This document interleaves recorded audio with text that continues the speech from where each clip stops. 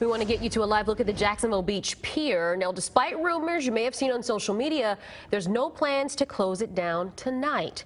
The Jacksonville Beach mayor says the city is searching for a new management company for the pier now that the current one backed out of a contract without warning. Action News Jax Christy Turner is live at Jax Beach. Christy, that vendor who says business has suffered since Hurricane Matthew.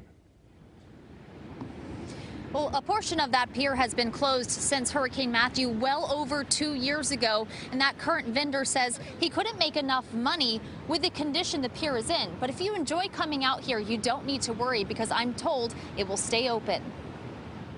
The pier is a Jacksonville Beach staple. A lot of people come out here to relax and fish. Mayor Charlie Latham shot down rumors the pier was going to close because the current vendor backed out of the lease unexpectedly. I'm very happy that it's staying open. You know, this is the beach. It's been here forever, and my son loves it. You know, my family loves it. New management will take over. Pier employees are now without a job. Trisha Canoop says they only got a two days notice. I'm freaking out. With the pier only partially open, the company that manages and maintains it said there are not enough people coming. There will be some days where we'll ring in $70 on the night shift, 140 on the day shift.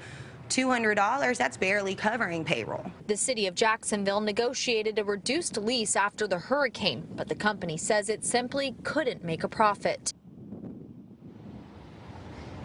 Mayor Latham says they are in the process right now of finding a new vendor and hope to make a decision here very soon. Reporting live at Jacksonville Beach, Christy Turner, CBS 47 Action News, Jax.